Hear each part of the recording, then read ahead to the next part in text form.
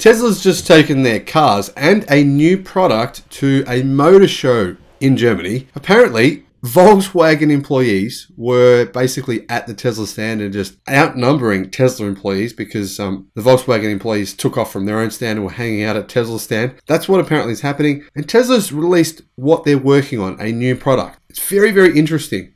But I think I have an even better idea. Now, let me know if you agree or you disagree. Is my idea better than Tesla's idea?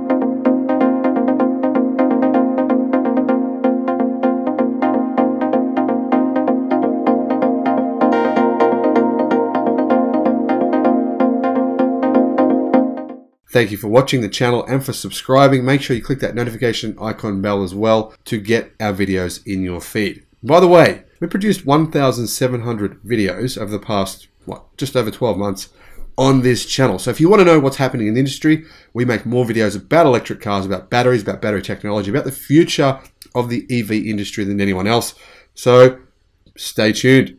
Now, what's going on with this product? Well, it's very interesting. It's like a trailer filled with batteries and then solar panels that can be folded out like wings. I really like this idea, but as Teslarati says, range extenders are nothing new. They typically involve the use of a small internal combustion engine that can help an all-electric vehicle travel farther. Tesla appears to have laughed at this idea, as the team featured a solar-powered range extender trailer as part of its exhibit at the 2022 IdeenExpo in Hanover, Germany. Now apparently this expo is actually a massive event for kids teenagers and young adults that features workshops and exhibits from various exhibitors. Believe it or not, even in Germany, amongst kids and young adults, Tesla is a very, very popular vehicle brand.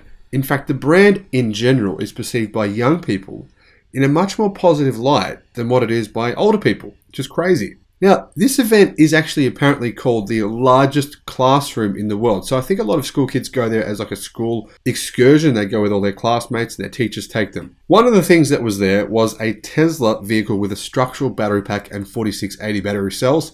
They had the pack exposed so people could actually see how the pack works, see what the batteries look like, and that would have been an interesting thing to see in person.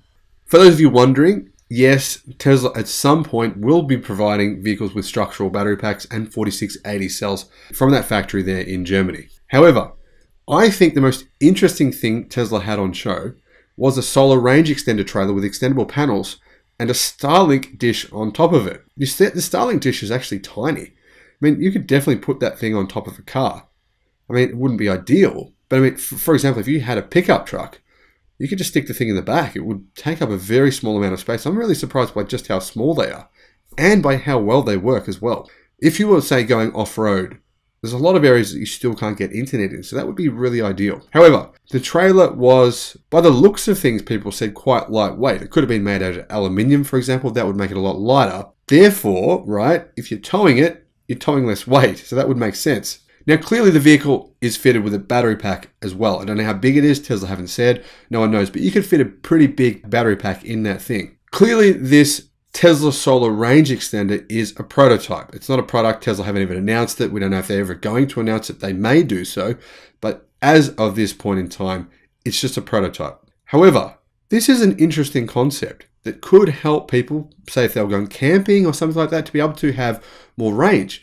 And potentially, if you're camping, it would be kind of ideal because you could camp, you could spread out the solar panels and charge that battery pack in order to be able to run off anything. You could run your caravan, you could run your truck, you could run anything, kitchen, whatever. Now, Elon himself actually mentioned a similar type product at the Cybertruck's initial unveiling in 2019. Back then, Musk said that Tesla would probably build a range extender for the all-electric pickup truck in the form of a solar cover that can generate about 15 miles of range per day. Now this solar cover would be on the back of the bed, go over the top of the bed where the roller cover goes over, that would be covered in the solar panels. He said that would give 15 miles per day of range, which to be honest is actually a lot of range. I mean, that's what, about 27 kilometers? The average person in cities normally drives only about 40 kilometers a day. However, Musk said that with folded out solar wings, the Cybertruck's daily range would be boosted to 30 to 40 miles per day, which, for most people, is definitely all you would need. Now, for those of you wondering, the average distance traveled by drivers in the US per day is 39 miles. The additional range brought by the Cybertruck solar panels could definitely prove useful. Now, my idea is this, right? There is buildings now being built. In particular, one building here in Melbourne, Victoria, recently got approved and construction is underway now, where the windows and in fact the entire building will be covered in a thin solar film. The solar film is transparent and this building will be able to completely power itself. In fact, more, it'll have way more energy than it needs, even on cloudy days, because the entire building surface is covered in the solar film. Now, I don't see why you couldn't cover an entire car in the solar film. Why not? If you can cover a building in it, what's the difference in covering a car with it? Apparently, the difference is durability. However, people are saying the durability of these films has been significantly improved over the last few years, and continued work is going into improving the films. So, personally, I think why not cover the doors? Why not cover the windows? Cover the whole thing in a transparent film, meaning, right, you might not even need those fold out wings. However, it could be an option, right? This is what I'm thinking an option where you have the fold out wings, but they're detachable, right? Maybe you don't have to carry them with you. Like, for example, you may not need those. So, if you're carrying them with you all the time, you're carrying excess weight with you, then it's a, like a, a range penalty, right? But if they were detachable and you could remove those, then you wouldn't have to carry them with you all the time, and that would make more sense. Now, say for example, you just wanted to drive somewhere, you had to pick up your son from um, training for sport, or pick up whoever. So you have to go, maybe you got to drive 30 kilometers or 15 kilometers there, 15 kilometers back.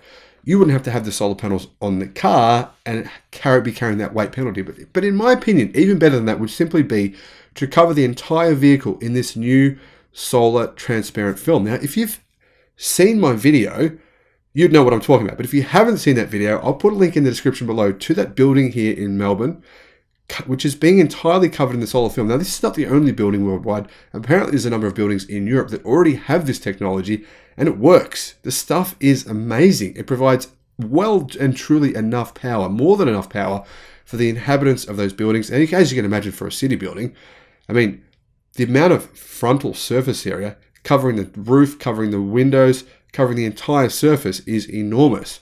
Personally, I don't, I don't understand why no one has considered doing this. Cars often, very, very frequently, just sit outside in the sun all the time. Why not charge while they're sitting there? Now, let me know in the comment section below. Would this work? Do you think it won't work? If you're an engineer, tell me why or why it will or won't work. But I personally can't see why it won't work. However, maybe I'm wrong. Maybe I'm missing something. Maybe one of you knows something that I don't. Thank you for watching. Bye bye.